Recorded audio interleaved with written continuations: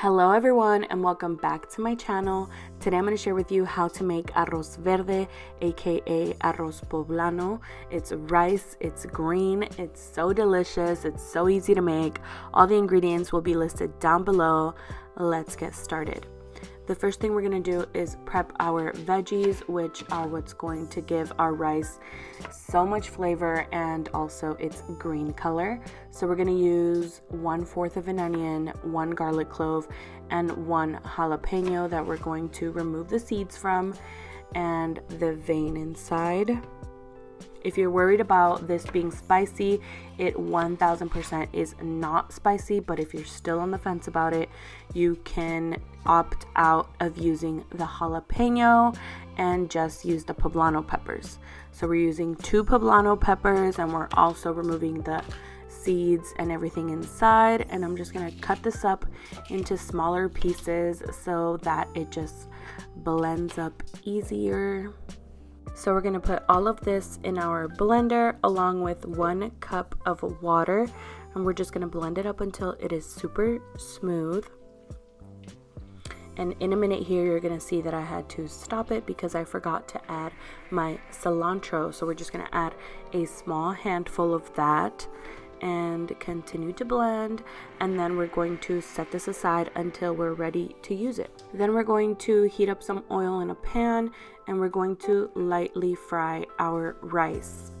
We want to get a nice brown toasty color throughout so do this over medium low heat this is going to take a few minutes make sure not to leave it alone because it will burn also, keep it moving, keep stirring it because if you let it sit too long in one spot, it can also burn.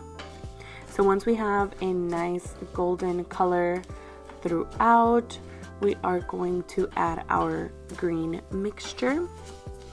So total, we want two cups of liquid.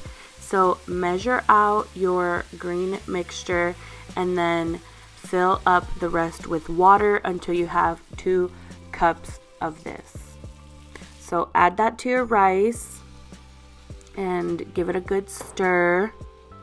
And then we're going to season with some chicken bouillon because that is my favorite stuff. But of course, you can use just salt if you prefer. So give that another good stir and then we're just going to bring this up to a boil. And if you want that to happen a little quicker bring your heat up to about medium high. Once it comes to a boil we're going to add our corn. But of course I was not recording when I added my corn so I uncovered my rice and added a little bit of more corn just so you can see the corn going in.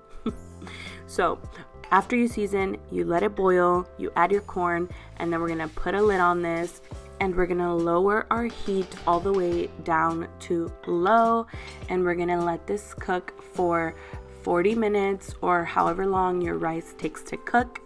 Once the 40 minutes are up, turn off the heat but leave your rice covered for at least 10 minutes let it just sit there and keep doing its thing and once those 10 minutes are up then you can finally uncover it and we're going to fluff with a fork and then you're all done. You have this beautiful, fluffy, delicious, flavorful arroz verde. If you like this video, please give it a thumbs up. If you haven't yet, please subscribe to my channel so you don't miss out on any future videos I post every Wednesday and Saturday. Also, follow me on Instagram for more food content. Thank you so much for watching, and I'll see you next time.